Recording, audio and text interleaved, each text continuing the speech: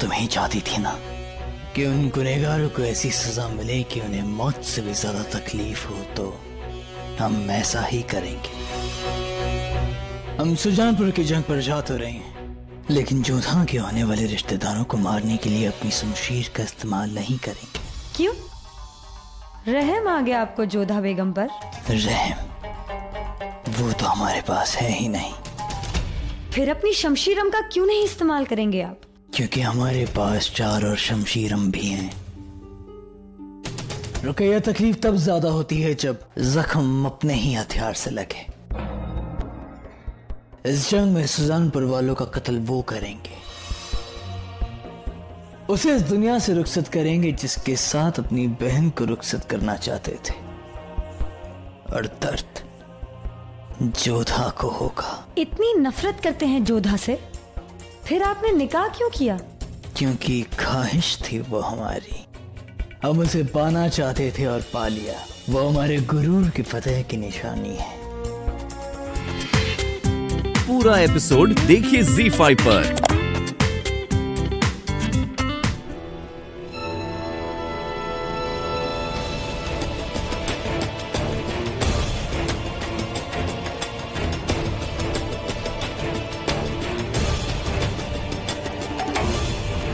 क्या आप जानती हैं हमने आपको यहाँ क्यों बुलाया है?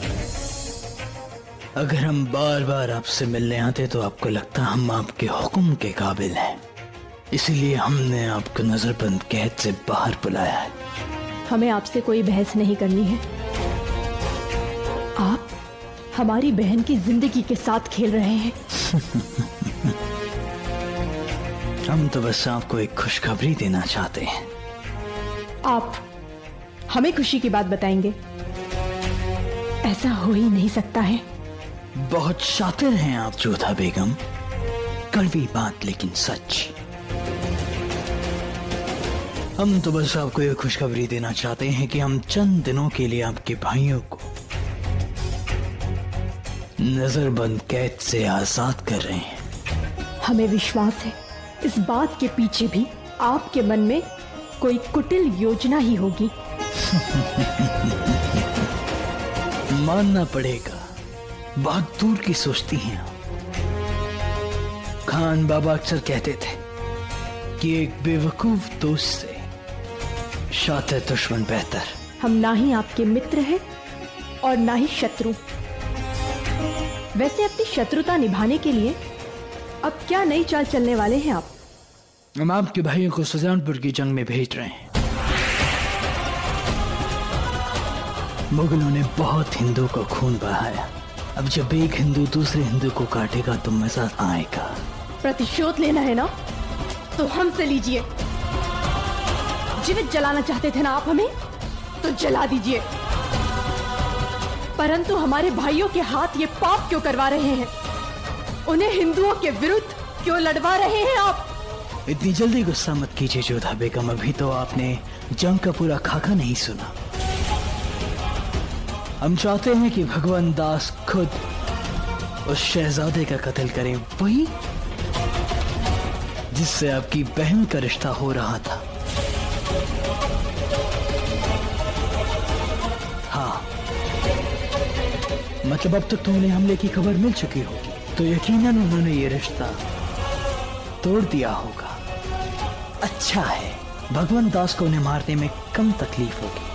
पहले तो हम उसी दिन हो गए थे शहनशाह जिस दिन आपने हमें आमिर से दूर कर दिया था और रही बात शोक मनाने की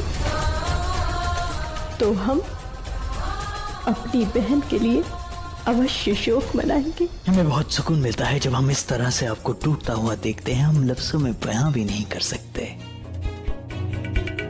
पर बेफिक्र रहिए, जोधा बेगम। ऐसे मौके हम मता फरमाते रहेंगे। अब नफरत हो रही है हमसे या घिन आ रही है? घृणा तो हमें अपने आप से आ रही है। जिस व्यक्ति से हमारा विवाह हुआ है उसकी सोच इतनी बुरी हो सकती है। जो दूसरों के शोक में उत्सव मनाता हो। अभी हमने जाने का हुक्म नहीं दिया जोधा बेगम। फिर भी हम जाएँगे। क्योंकि हमें नहीं लगता। बात करने को कुछ विशेष है।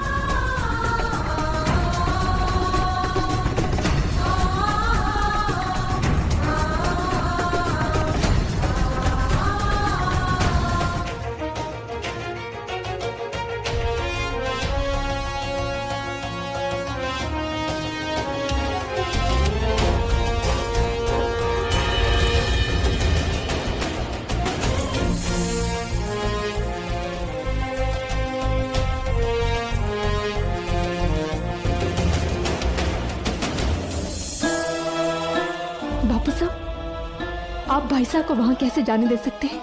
जहाँ पर इनकी तलवारें अपने होने वाले बहनों के विरुद्ध उठेंगी। सुजानपुर में सुकन्या का संबंध तय हुआ है, बापू साहब। होने वाले संबंध के लिए, हो चुके संबंध को तो नहीं छोड़ा जा सकता।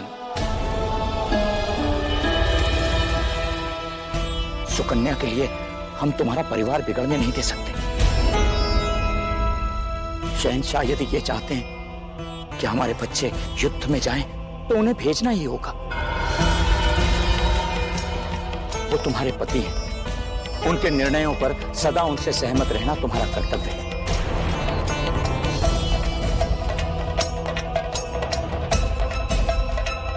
किसी को जलील करना तो कोई जलाल से सीखे।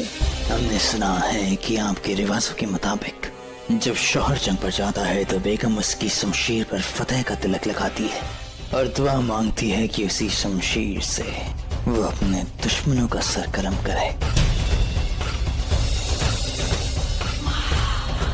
हमने आपकी बात कबूल की थी कि आप अपने रीति रिवाजों के साथ हमारे महल में आएँगी।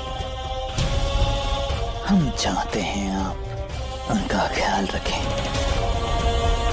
और हमें तिलक करें कि हम अपने दुश्मनों का सर कलम करें।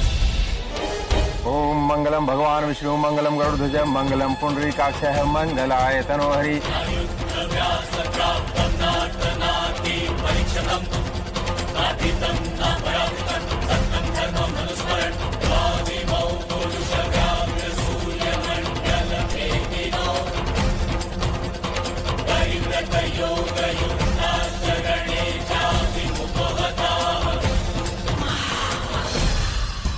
रस्म है ना उषा एक हिंदू बेगम के हाथों से उस शमशीर को तिलक करवाया जा रहा है, जो दूसरे हिंदुओं पर वार करेगी और हिंदुओं के खिलाफ खड़े होंगे खुद हिंदू बेगम जोधा के ही भाई।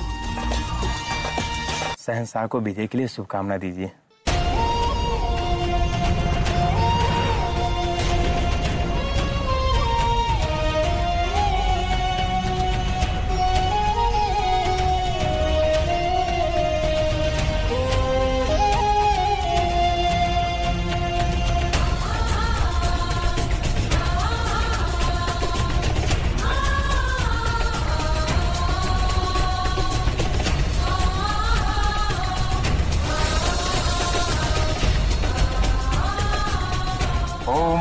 मुरारी ध्वानकारी भाव से भूम